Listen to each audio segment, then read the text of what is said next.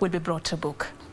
Now, residents of Kisi and Kangoki villages in Thika have called on the Kiambu County government to act swiftly and repair a sewage drainage system in the area which has been destroyed by floods. The residents say the situation has been aggravated by the ongoing heavy rains, with the raw sewage putting them at risk of contracting waterborne diseases.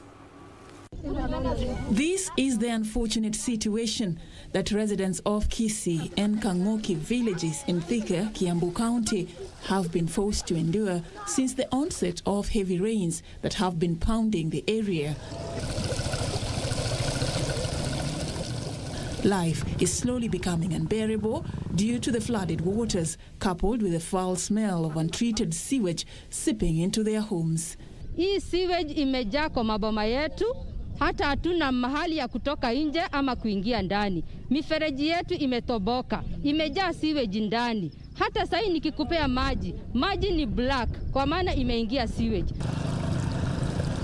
The residents say that the prevailing situation has left them with health complications and are worried that it is putting them further at risk of contracting waterborne diseases. Mi mwenyewe imenipea arthritis at my age na nimetibiwa na hata sponi juu. Sasa wakati ninapotibiwa, mvua ikinyesha, ndio hiyo sewage inafurika huko.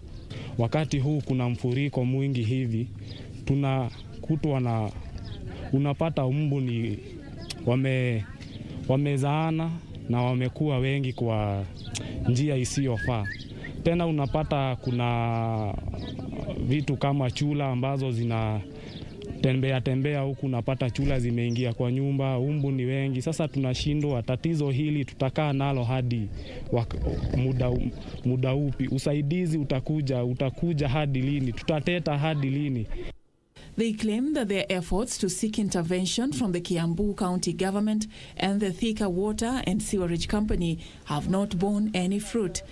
Sisi tukuwa wakaaji wa hapa, mahali siwe jiko ni hapa kama mita mia mbili, ili hali na sisi wenyewe hata hatuna hiyo siwaraini, lakini wao wako na nguvu ya kufungulia sewage itoke kwa tano yao ikuja kwa manyumba zetu.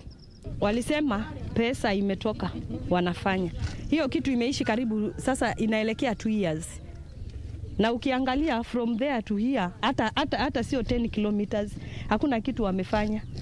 The residents say they have run out of options and may soon be rendered homeless. Reporting for Channel One News, I'm Safin Aching Oma.